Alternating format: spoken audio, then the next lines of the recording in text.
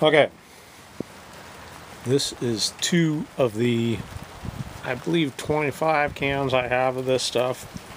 Hardener and cord can under this lid. Safety deck core mixing instructions. Take it out, stir it up, add hardener. Working life 8 hours. Flammable. Don't breathe. Use rubber gloves.